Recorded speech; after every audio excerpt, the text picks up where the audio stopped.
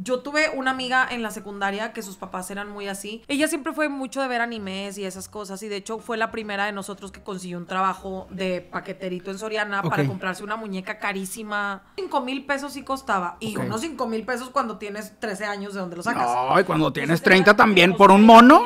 Sí, pero hace cuenta que fue en contra de las reglas de sus papás. O sea, fue como, sus papás fue como, no. Esto te lo vas a ganar a manera de estudio, de lo que tú hagas, bla, bla. Y ella dijo, no, vamos a cortar este pedo, yo voy a trabajar. Sus papás no sabían que trabajaba ahí. O sea, es que no, no me acuerdo bien de la historia de cómo fue que la encontraron en Soriana, que literal así de que, o sea, zarandeada No vas a enfrente de todo, trabajar. sí. Aparte de eso, o sea, yo te pedí el mono, no me lo vas a dar, yo voy a Ah. encontrar la manera de conseguir el mono. Digo, si lo hizo, ¿cómo se llama? Legalmente y todo, pues yo no creo que Claro. esté mal. Pero hay como ese patrón de controlar a sus hijos. Sí. De, a ver, no vas a tener el mono porque yo no te lo voy a dar, pero tampoco lo puedes conseguir por tus medios porque no te voy a dejar trabajar.